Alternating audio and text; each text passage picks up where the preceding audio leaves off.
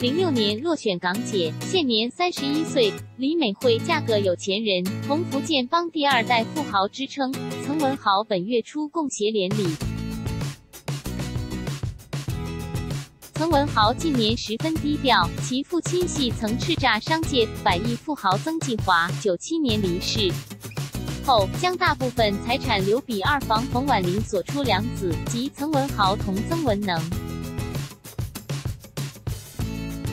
金融风暴后，曾纪华百亿王国资产损手不少，之后曾文豪亦先有亮相公开场合。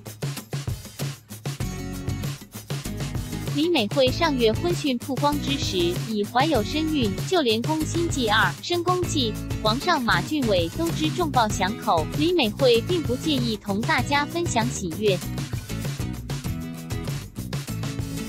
上月里宣传深宫记时，表示戏拍完剧集深宫记之后，先至认识曾文豪，称系朋友介绍，时可朕无知男方家底。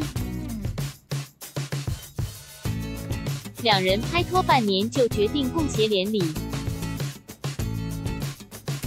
不过，李美惠系今日出版周刊访问则称，有钱人无戏傻人，如果你怀住目的埋身，对方肯肯定知，而且一定会起你底。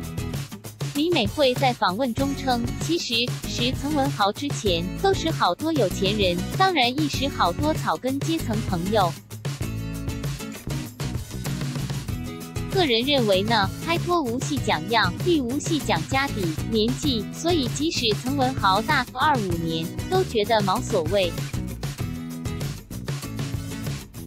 只系最初大家众摸索紧时候，李美惠自言自己知自己是既不够美，亦不够会，亦无想令曾文豪以为埋身另有目的。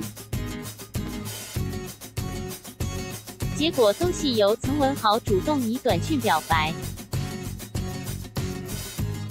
李美惠已届三十一岁，虽然话同有钱人交往千奇无好太极进，亦觉得男方年纪真系无系问题，但问题系女人三十，李美惠好想有个家，所以同曾文豪交往未几，已向对方明言好想有个家，结婚生子。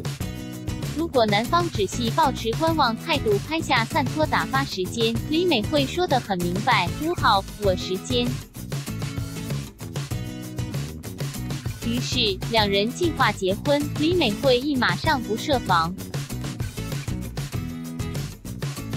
本月三日正式成为曾派，余文乐陪你走遍全球追星，即刻雨果 FB 专业。